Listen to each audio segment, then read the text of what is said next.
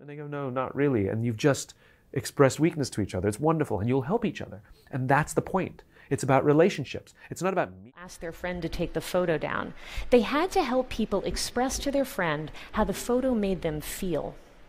Here's how the. Well, I don't do this to impress you. I do this to express to you what's really possible because the truth is, everyone can do this too, and so much more.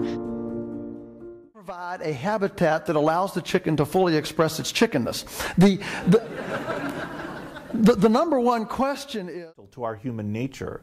We have to allow people to express themselves. We have to privilege a kind of communication